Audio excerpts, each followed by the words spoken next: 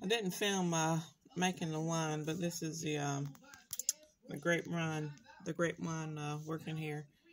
Uh, I think this is a uh, five gallon carboy. I ended up doing uh, about 20 cups of sugar and um, the grape juice, and um, I added um, two um, 96 um, ounce containers of white grape juice uh, just to uh,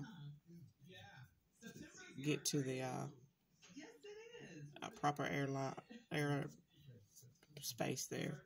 Um, but anyway, it is working like crazy. I got it in the closet.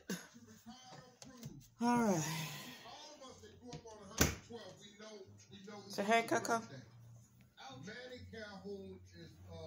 I think y'all saw Molly in the last video. So there's Coco. Anyway, I uh, enjoy this coffee.